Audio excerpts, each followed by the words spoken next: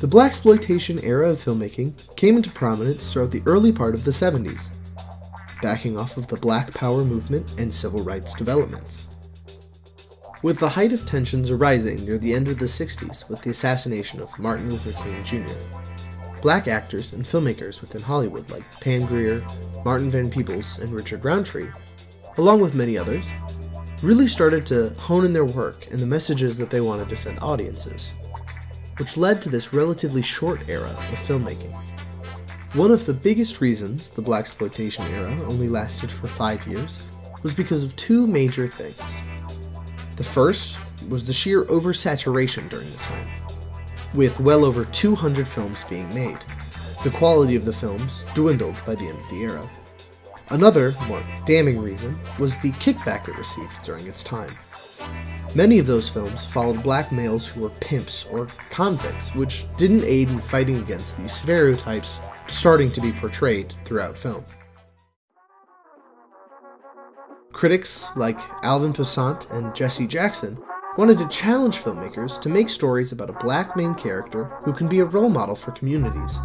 Instead, they would receive films like Superfly, where Ron O'Neal played a cocaine dealing priest.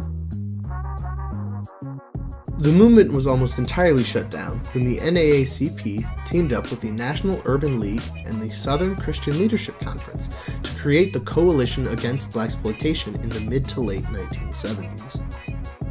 After the disappearance of the blaxploitation genre in the 1970s, the late 80s and early 90s saw the blaxploitation movement take on a renaissance with filmmakers like John Singleton and Spike Lee. This renaissance was led by the first black filmmakers to have grown up during the time of blaxploitation. And its influence isn't shy with their respective films Boyz n the Hood and Do the Right Thing.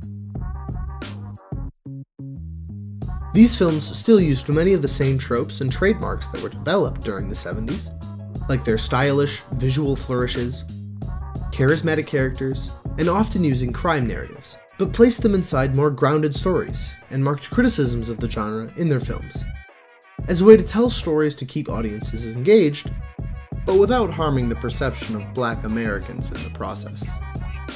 Singleton continued on to make other films inspired by the genre, like the 2000 remake of Shaft. Other filmmakers like Quentin Tarantino were also inspired by the movement and would utilize elements of the genre throughout his films, even going on to direct Jackie Brown, a sort of love letter to the blaxploitation star Pam Grier. Blaxploitation has more influence on media outside of film as well, with the likes of Snoop Dogg and Ice-T adopting the no-nonsense pimp persona that the movement had portrayed and popularized. With this wide reach of influence, there is no surprise that blaxploitation has garnered such a cult following. Although the genre wasn't without its criticisms, its influence on filmmakers and impact that it had on the industry can't be overlooked.